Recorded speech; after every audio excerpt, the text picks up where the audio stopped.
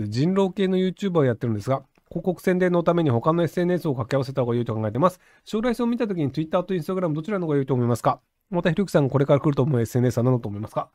えっとあの、